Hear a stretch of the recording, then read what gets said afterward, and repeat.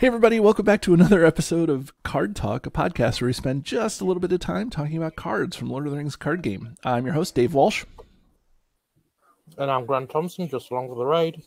And certainly not last is Ted. And I love to talk about cards. That you do, Ted.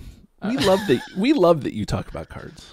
I I love that you love loving to talk about cards. I know. And that's We're precisely all- what we're going to do. I know. But we're going to be doing it from a sitting I position. love s- cards and talking about them so much that I can't stand it. There we go. Okay. there it is. I gonna, I can stand it though. That's that's precisely the point of today's show. So Right. we're gonna be uh, discussing. We have a great episode for you right after this message for the patrons. Exactly right. It's not uh it's it's because of the patrons that this show is possible. We have a small but dedicated fan base that uh, gives a couple of bucks a month and it's been growing and growing and growing ever since we launched the podcast. So we're actually up to as of the recording of this episode 42 patrons and that is amazing. I am so thankful for that. Also as this show is going to get released realize that if you want the major swag. I'm, I call it major, but we're going to give swag to everybody, every person who deserves a little something from us.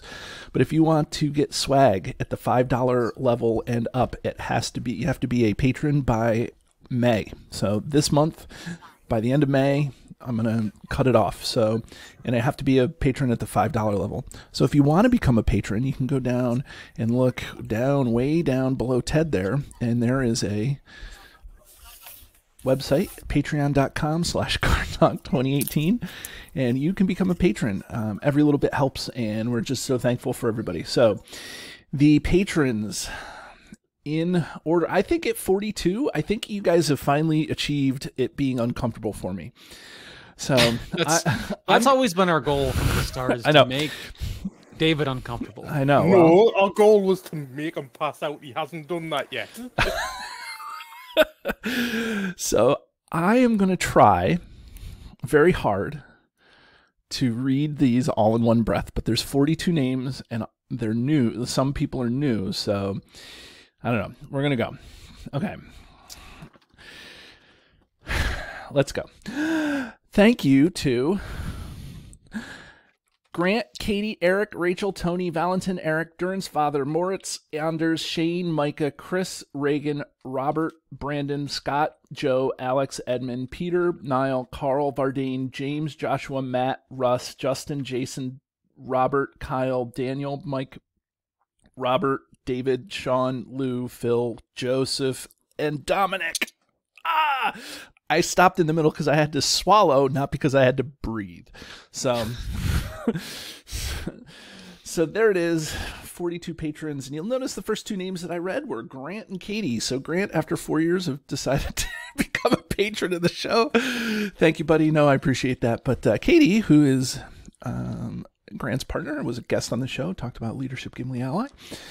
That's good. I'm happy that uh, that there's value enough in the show for somebody's significant other to become a patron. So, yeah, that's really good. You're not the first couple to be on the a patron of the show, but I appreciate it. So that just means you get the you get the swag now in in, in October, Grant. well, that's all I did it for, really. yeah, right. In October, you'll go back. You won't become a patron anymore. Uh, anyways, um, I think that um, the patrons probably don't want to hear much more about this, but they probably tuned in to talk about today's card. So, Grant, why don't you talk about today's card? That is going to show up right here. You'll notice we're doing a little bit of different formatting here. We're going to keep everything going. I have Ted down down below me and Heyo. Grant over to the side here. So we're going to see how this works and see if uh, this Yeah, helps unless out. you're on audio, and then it doesn't matter at all. then it doesn't matter at all. So what it does is it helps me focus a little more on the cards and a little less on the production of the show when I do this. So, um, but that said, Grant, can you stand it? What's today's card? Well, if you let us get the last word in, I can tell you. um, we are talking about the last stand from Flight of the Stormcaller, the zero cost tactics event from the Flight of the Stormcaller.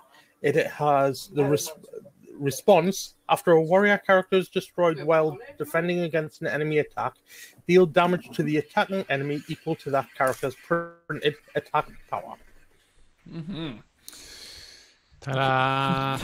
okay. Well, should we ring this thing? no, I'm. we'll uh, we'll touch on it and uh, give it a give it a couple of points. Yeah, I mean, here's here's the thing, and I'll start a little bit on it. Um, you know, I'm not I'm not a um, big fan of direct damage. It's fun, but I find when I'm playing solo and I'm trying to build a direct damage deck, it's it's hard. I mean, one of the staples. I, I come from a Magic the Gathering background back early days in the in the mid '90s. So like when Alpha and Beta were released and stuff like that. And then I got out of it for a long time. But you know, like one of the Many people's stories. you know, and but but one of the fun archetypes to play was a direct damage deck. You could fireball and you could do chain lightning and you could do all these these uh, fun um, direct damage things. And so when I try to build a direct damage deck, I want it to be only direct damage. So I include things like Thalin and Argalad and Bilbo and you know these these things that allow us to do damage directly. Direct damage right?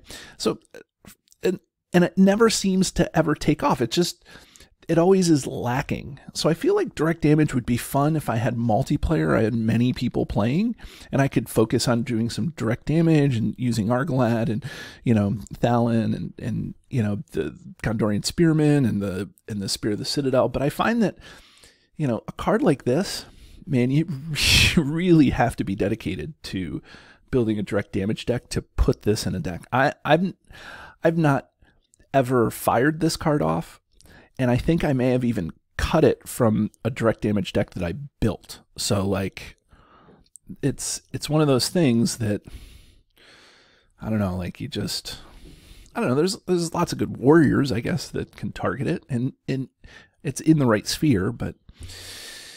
I don't know. Grant, what do you think of this card? I think this card has potential. I mean, I've never actually used it in a direct damage deck, mainly because I generally don't run a lot of heavy allies lately. So needing this card, Fourth, fourth the three hunters.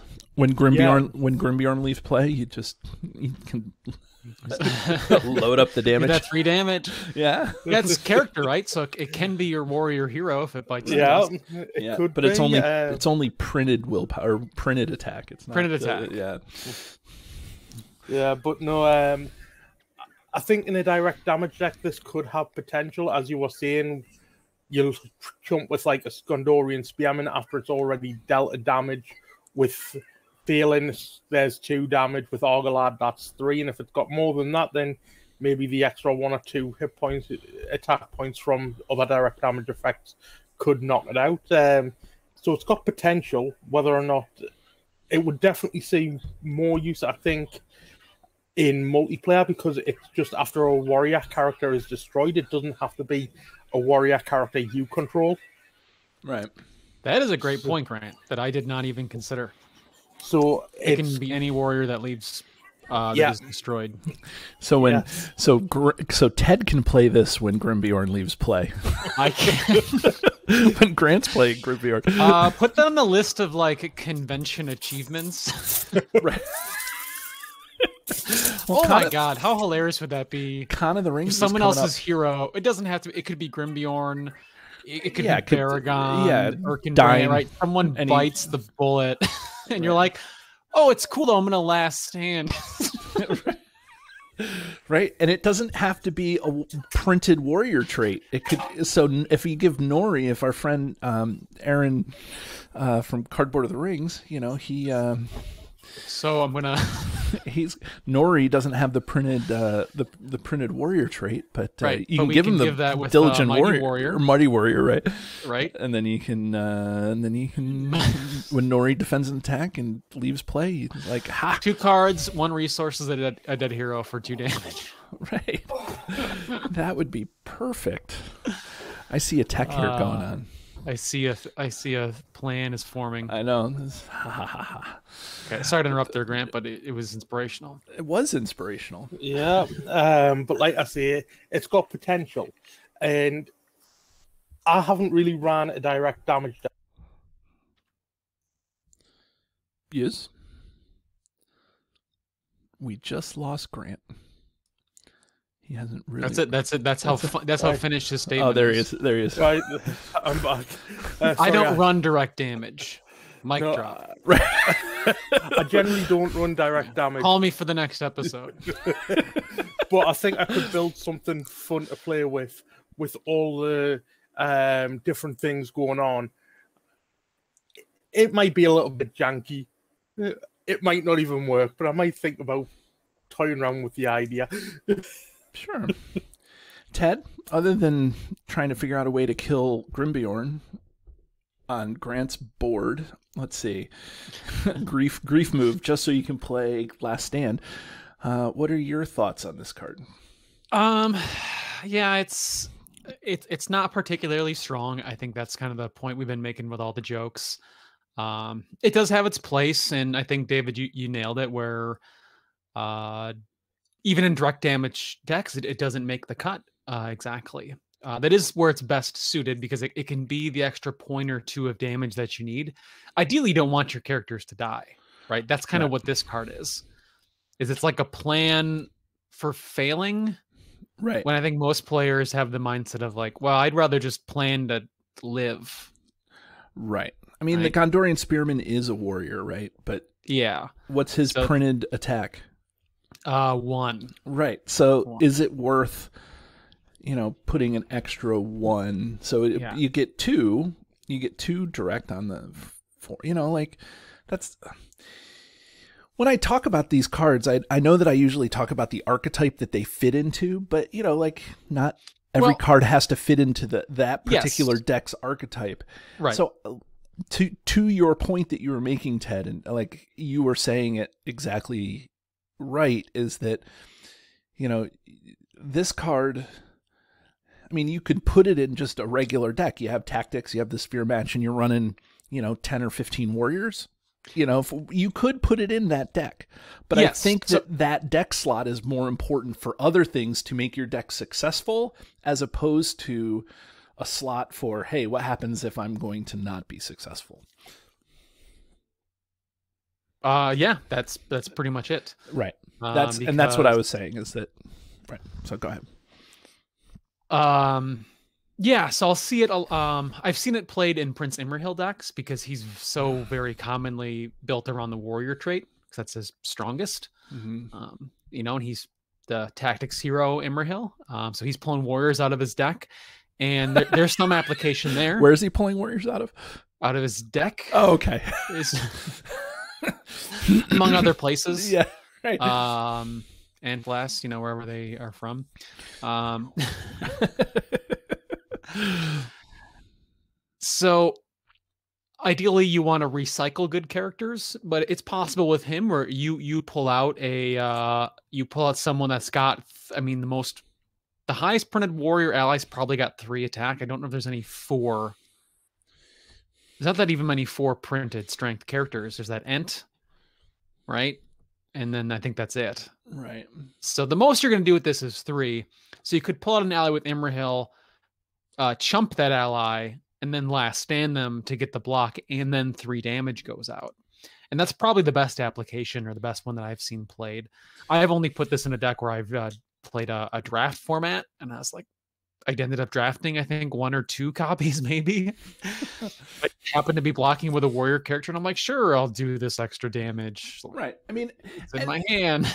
and to its and to its credit, I mean it it it doesn't hurt. It's not like it's you know it it's something that happens like if you do if you're chumping if you're planning on chumping like you know like it's something that you could do I guess you know it's but I don't know. Beorn is a let's let's go through. So Beorn is a um three uh three attack warrior. Um, Yeah, there's there's a couple. There's there's Beorn, which hopefully he's not he's leaving play for his attack ability. Legolas. Uh, Yeah, there's Legolas, which is three. Azain is three. Um, there's plenty other generic warriors too. Uh, Knight of what is, is it? Knight of Minas Tirith. Knight of Minas Tirith. Yeah, he he's one of my favorite cards. The the veteran of Uh, Nanduhirion. Yep. So there there's there's a ton, and Glorfindel. Ideally, which yeah, which actually may not be bad because Glorfindel sometimes you sacrifice he does because he can sometimes. he can come back into play because you're playing him from I'm talking about ally Glorfindel, right? And Yeah, so the like cuz he can you can play if you have you know something like that. The marksman of Lorien, soldier of Erebor. Yeah, I don't see anybody with 4 printed I don't see any allies. I'm assuming we're not going to lose a, a hero here, right? But there's Uh, there's 11. Ideally, right however much we would you know joke around with grant to uh Yeah, to but lose it's Grimbeorn. you know I, I've seen it played, and someone is they they lose their hero, and they're like, "Well, I'm going to do two damage to this guy on the way out," Mhm. and it, it's surprising how that makes an impact still. You know, now if that card was something else, right like uh you know a, a feint or something uh, you know to stop the attack altogether like yeah sure there's plenty of other things you can do but uh it's it's it's got a, f- a few uses and certainly i think direct damage just in general plays better in multiplayer david you made a good point there Mhm. I think it's more commonly people will bring that type of deck to a convention because then they sort of have room to to apply the direct damage and then help the table out uh, with things like Thalin and, and Bilbo and archers. yeah and and to and and to that point that that we're talking about is that you know those cards that are that you use in a direct typically don't overlap with some of the other cards uniques and things like that that people would be running. Like you're not going to use Gandalf in a direct damage deck. Uh, I'm sorry you're not going to use hero Gandalf in a in a direct damage deck. You may use core Gandalf because it does 4 damage when it enters play. But you know Right. those those sorts of things like you're not going to run into like you may not need Steward of Gondor. You know you may not be running leadership. So you know like any of those unique conflicts you may not have. So direct damage probably to your point makes more sense to be in a you know three or four players setting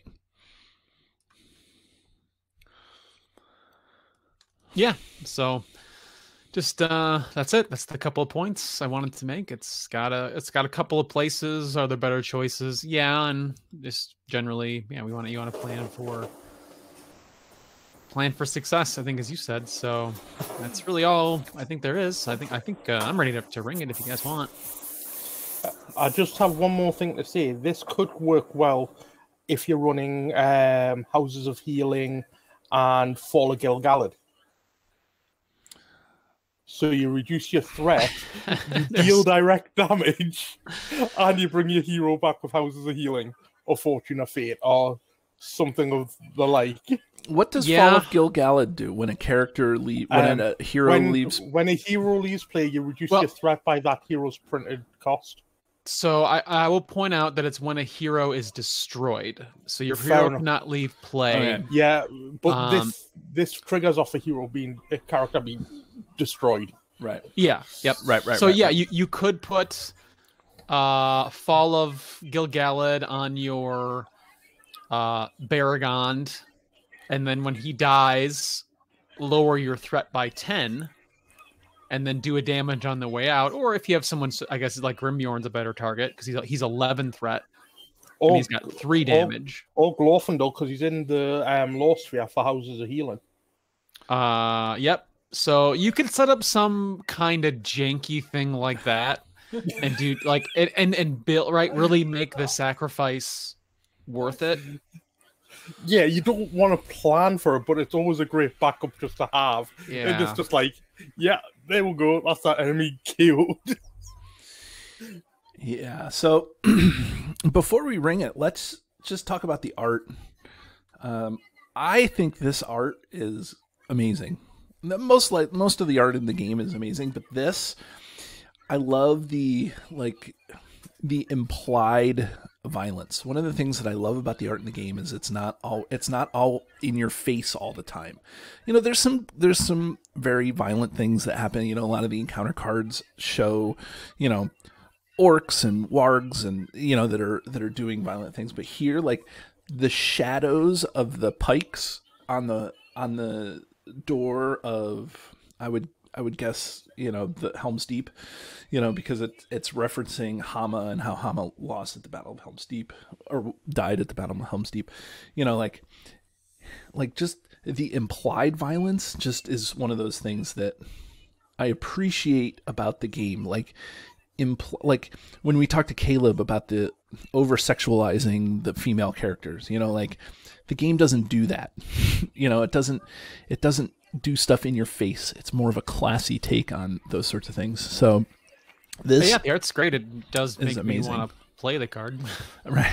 Yeah. But yeah, I haven't put it in a constructed, uh, constructed deck. So, yeah but I've I've seen other players put. I've been at the table with it, and yeah, they just do some extra damage on the on the way out. And um, like I said, it's usually it's in an Imrahil deck is where I saw it played, right and um, might have a little bit. Uh, I think if you're building um, uh, a hundred card voy- voyage of perilous voyage, Perilous uh, perilous Voyage, voyage right. contract deck where your deck's hundred cards. Um, you know, you and you got a big chunk of warriors in there, then this could be one of those cards that fills that slot too. Yeah So. sure well should we Put ring this guy ringer. should we ring this guy Sure, why not? sure. What I was, I was waiting for somebody to. Ted was ready to ring this guy three minutes ago. Okay, so, so for anybody at home who doesn't know or, you know, has maybe forgotten, we have a highly scientific yet arbitrary system where we rank a card on a scale from one to ten, where one is the best card in the game. Uh, it's the one card to rule them all, and a card that we rank as a 10 is a card that we throw back into the fiery chasm from whence it was made. So, Ted, what do you think? Oh boy, um, I'm very generous because you know you guys know my stance. Every place has a card in the card pool, Right. uh, and this one does, and this one does. I'm not saying that it, it doesn't because we just named uh, the few cases where it's uh, can can be very uh, effective when you pair it with you know the the heroes that we discussed and, and the ones you guys mentioned. But it's it's still towards the bottom. Uh, there's usually better choices depending on what you're trying to do to, to help you defend uh, even to get more attack there's better ways to you know to boost your attackers to just do more damage consistently so because of all that i'm gonna probably i'm gonna give it an eight Okay. Uh, Grant, what do you think? I'm gonna give it a nine. I see the there's potential uses for it. There may be some fun little factors there that you can play around with, but it's not consistent, and you're probably nine times out of ten going to cut this card down. nine times. That's why it's a nine. That's why I gave it a nine. Yeah. Um, for me, I'm going to give this card also a nine, but I'm going to take it from the other way. Is I'm going to say like, you would imagine that a card that I've never played or that I would not play that or that I've cut from a deck consistently when I try to make a direct damage deck would get a ten. But I think that the reason why I can appreciate this card, I give it a nine, is because this game is really good at getting into the little nooks and crannies of deck building where you need certain cards or you want to have options for cards that are different and unique. And it's not just always you know build your deck this way so because this gives the deck builder some options about you know um, direct damage or it gives somebody you know you have one extra card slot and you're running like ted like you said you know uh, you know you're running a lot of warriors because it's a prince Imrahil deck or you know you just happen to be running a whole bunch of rohan warriors or i don't know whatever.